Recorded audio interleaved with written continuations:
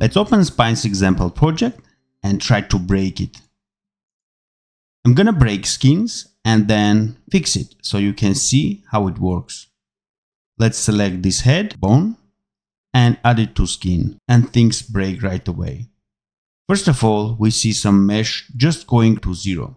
If you anytime see this kind of behavior, this means that binding is not working well. If you select the mesh, I have filtered bones so only bones are visible. This is the bone that I put into the skin and if I expand all the children bones have warning icon. Let's select all of them and because they are not in that skin, that means if you deactivate this skin, these bones still will be visible and that's the problem. So let's put all these bones into the same skin.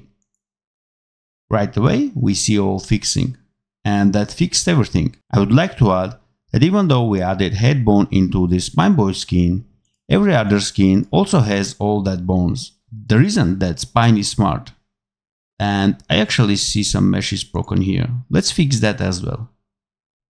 I can see head inverse. It still has warning.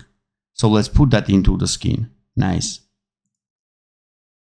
So back to the question. The reason we all see here in all the skins is that Spine is smart and when you add it, Spine sees that these attachments were using those bones and added all those bones to the corresponding skins you can observe that here, when you come here to the tree view and expand the skins, every skin has the same set of bones that we added.